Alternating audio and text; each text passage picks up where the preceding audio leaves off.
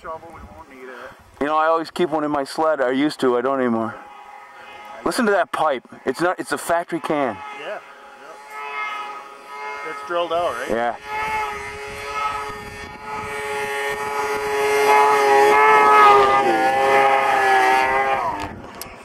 That sucked. Yeah.